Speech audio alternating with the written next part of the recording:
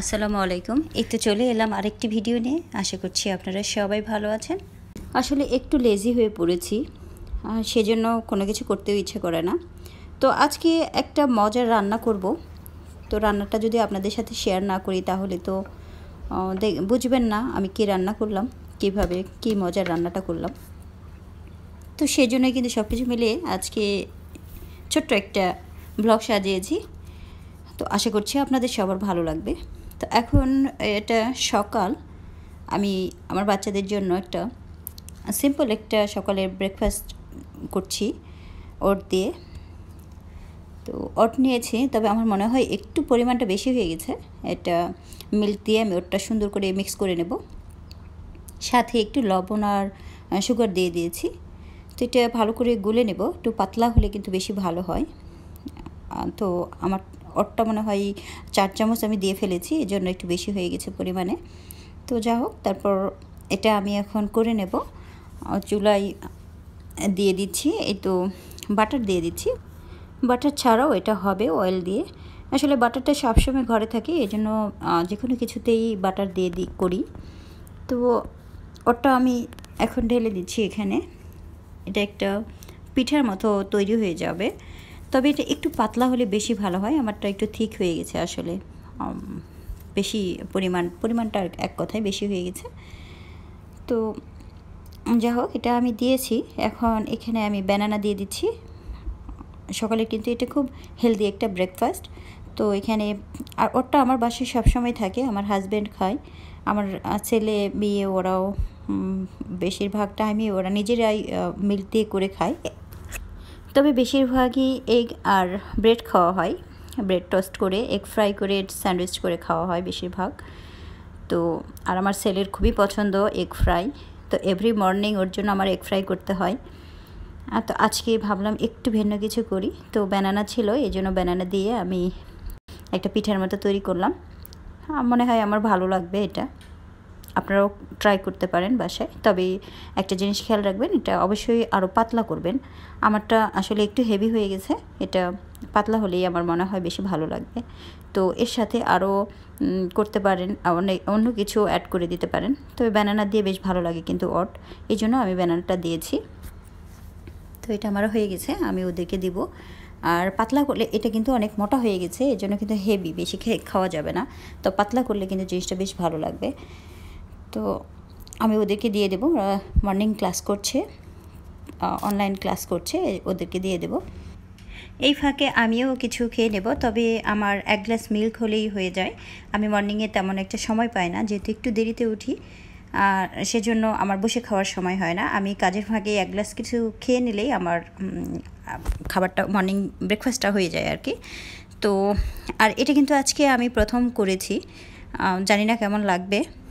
আর ওদিকে এখন আমি দিয়ে দিলাম, যেহেতু ওরা ক্লাস করছে, ওরা ব্রেকফাস্টটা করে নেবে। আর আমি এই ফাঁকে রান্নায় চলে যাব।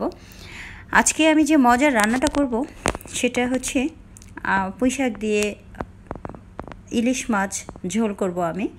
আমি জানি না আপনারা খেয়েছেন কি না তবে আমার পুঁই শাকটা খুবই পছন্দ। আমার খুব প্রচণ্ড অ্যালার্জি ছিল পুঁই শাকে ইলিশ মাছে, তবে এখন আমার অনেকটাই কম। সেজন্য এই পুঁইশাকের আজকে আমি রান্না করব। যে ইলিশ মাছটা অনেক দিনই হয়ে গেছে, আমি রান্না করে খেয়েছি, একদিন রেসিপি দিয়েছি, তবে আজকে একটু ভিন্নভাবে কিছু করব। তাই সেভাবে রেসিপিটা না দিয়ে আমি অন্য একটা রান্না দেখাচ্ছি। পুঁইশাক লাল পুঁইশাকটা কিন্তু সাদা পুঁইশাকের চাইতে অনেক বেশি স্বাদ। এই জন্য লাল পুঁইশাকটা নিয়ে এসেছে। তো, যেহেতু আমার ইলিশ মাছ আছে, তাই আমি ইলিশ মাছ দিয়ে আজকে এটা আমি ঝোল করব। আর ইলিশ পুঁইশাকটা আমার ছেলেও পছন্দ, আমার হাজব্যান্ডেরও পছন্দ। তবে আমার মেয়ের তেমন একটা পছন্দ না। ইলিশ মাছও খায় না ওরা। কিন্তু শাক তরকারি রান্না করলে বেশ খায় আর কি। তো আমি এইটা দিয়ে রান্না করব আর এই ইলিশ মাছটা আমি ভাজি করব। আমার মেয়ে, ছেলে দুজনেই ইলিশ মাছ পছন্দ করে না। তবে একটু ভেজে দিলে আর সেটা একটু খেতে পছন্দ করে, বিশেষ করে আমার মেয়ে।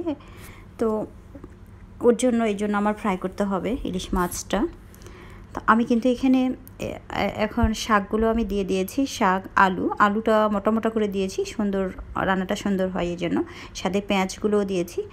আর মরিচ ঝালটা খুব কম খাই এই জন্য। তো মশলা তো যে, আমরা সবাই জানি যে যা যা লাগে সেগুলোই আমি মশলাগুলো দিয়ে দিচ্ছি। আর আমি আদা, রসুন, এটা একসঙ্গে আমি সবসময় বেটে রাখি, ব্লেন্ড করে রাখি ফ্রিজে। তো সেটাই আমি দিয়ে দিলাম। আমি সেপারেটলি আদা, রসুন ব্লেন্ড করি না। সব সময় আমি একসাথে করি, তাতে কিন্তু তরকারি স্বাদটা বেশ ভালো হয় এবং পরিমাণটা বোঝা যায় ভালো। তো আমি এখানে একটু, তবে এই শাক তরকারিতে একটু তেলটা বেশি লাগবে, তো মেখে নিচ্ছি।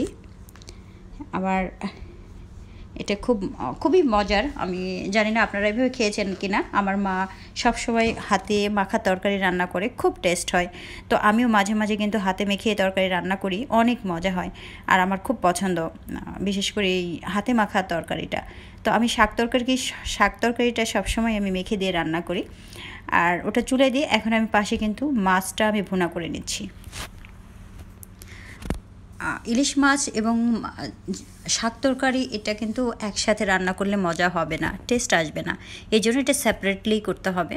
তো আমি এখানে ইলিশ মাছটা এখন ভুনার জন্য করে নিচ্ছি সব কিছু এখানে আপনারা চাইলে আরও কিছু মশলা অ্যাড করতে পারেন, তবে আমি জিরার গুঁড়া, হলুদ আর লবণ দিয়েছি।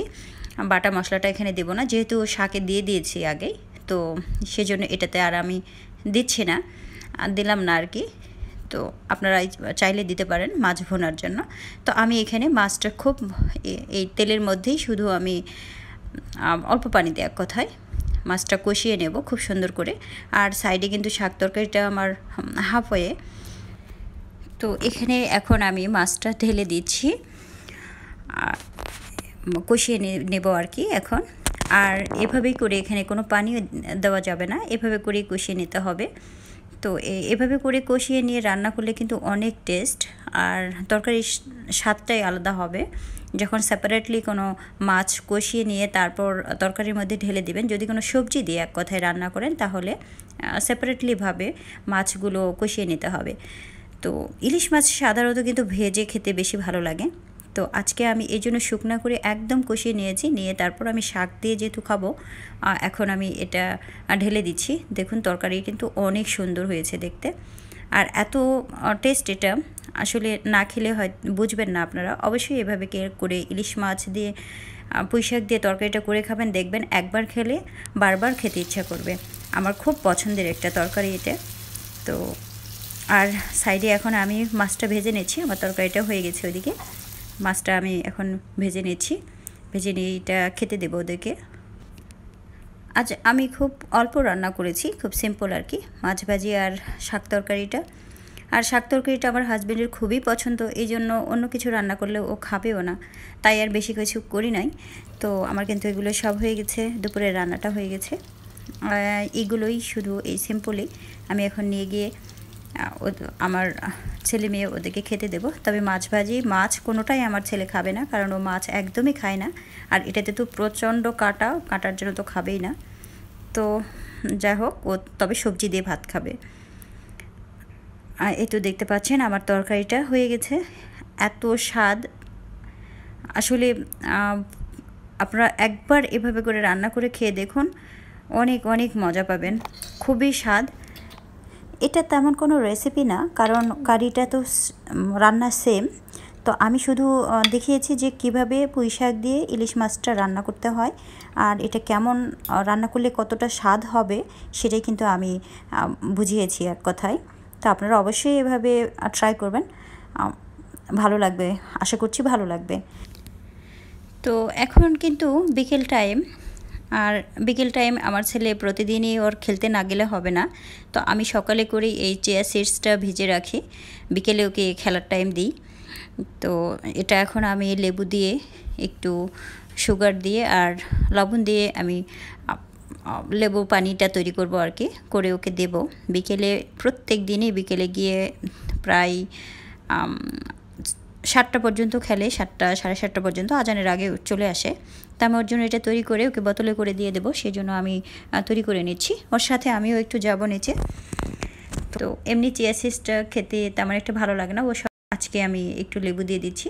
আর লেবুটা সব সময়ই খাওয়ানোর চেষ্টা করি সবাইকে। তো এ তো হয়ে গেছে ড্রিঙ্কসটা তৈরি। এখন ওকে নিয়ে নিচে চলে যাব। আমার মেয়েও জগিং করে এভরিডে তো দুজন মিলেই আর কি। আর বিশেষ করে আমার ওই ফ্রেন্ডের সাথে ওরা যায়, প্রত্যেক দিনই পার্কে যায়। তো তো চলে এসেছি। আর এখন তো সুইমিং পুল বন্ধ স্টিল তো নিচে আর কোনো, বিশেষ করে প্রতিদিন সুইমিং করতে চায়, কিন্তু এখন তো স্টিল সুইমিং পুল খুলে দেয় নাই। তো সেই জন্য প্রতিদিনই সাইকেল রাইড করে। তো বন্ধুরা, আজকে এ পর্যন্তই। আপনারা সবাই ভালো থাকবেন। আবারও নতুন কোনো ভিডিও নিয়ে আপনাদের সাথে কথা হবে ইনশাআল্লাহ। তো সে পর্যন্ত সবাই ভালো থাকুন, সুস্থ থাকুন। আল্লাহ হাফেজ।